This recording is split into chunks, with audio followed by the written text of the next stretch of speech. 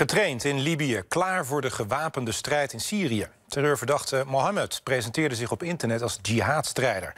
Volgens het Openbaar Ministerie bereidde hij ook een aanslag voor die hij in Nederland wilde plegen. Maar in de rechtszaak tegen hem ontstond vandaag volop twijfel.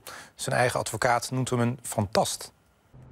De stem van de verdachte mogen we niet laten horen. De tolk die de woorden van Mohammed vertaalt, wel. Mohammed ontkent in de rechtszaal. Ik ben niet een persoon die uh, als een terrorist uh, gebrandmerkt kan worden.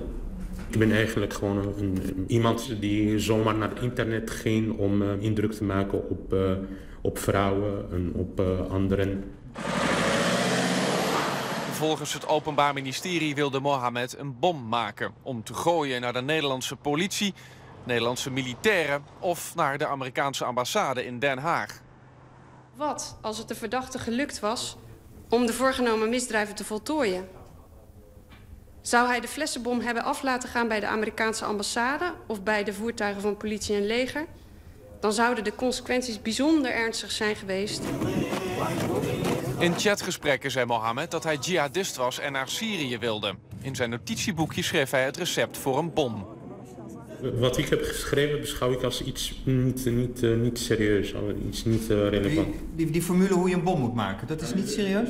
Soms ging ik uh, roken en, en, en zomaar wat schrijven. Ik was gewoon wat aan het dolle en indruk maken. Mohammed deed zich eerder voor als miljonair en als drugsdealer. Experts concluderen dat hij geregeld opgaat in fantasieverhalen. Ik denk niet dat ze ervan overtuigd kunnen zijn dat deze man daadwerkelijk van plan was om een, uh, om een aanslag te plegen. En, en dan is het... Ondanks dat hij een recept voor een bom thuis heeft liggen. Ja, weet je, het past allemaal heel duidelijk in die lijn van iemand die zich voordoet als een IS-strijder, maar dat niet, niet meent. Maar het Openbaar Ministerie is overtuigd van de terroristische bedoelingen... en eist vanmiddag vier jaar cel tegen Mohammed.